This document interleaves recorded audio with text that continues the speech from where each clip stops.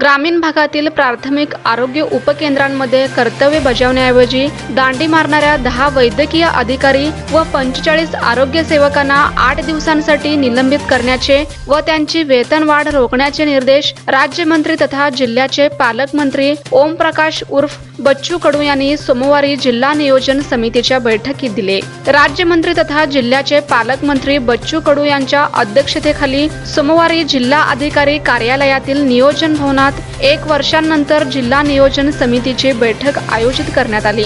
बैठकीत नोटीसवरील आठ विषयांना मंजुरी प्रदान करण्यात आलं. त्यासोबत इतर विषयांवर वादळी चर्चा करण्यात आली.